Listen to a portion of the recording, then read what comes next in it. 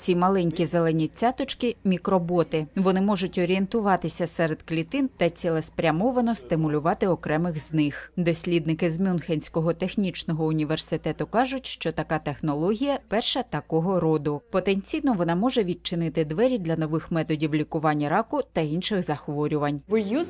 Ми використовуємо цих мікроботів для створення тканин організму в синтетичних умовах, і весь сенс цього полягає в тому, щоб у майбутньому відновлювати пошкоджені тканини або органи в тілі пацієнта. Це схоже на виробництво автомобілів на роботизованому заводі. robotic uh.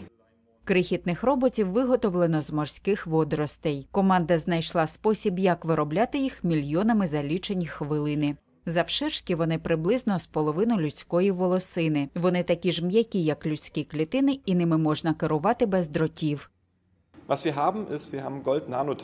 Усередині роботів є наночастинки золота. А за допомогою лазера, який бачимо тут, ми можемо нагрівати певні ділянки робота. Потім, коли направляємо лазер у бік робота, ми бачимо, що він починає рухатися. Далі ми можемо перемістити його між клітинами до інших місць, а потім подивитися на клітини з різних боків.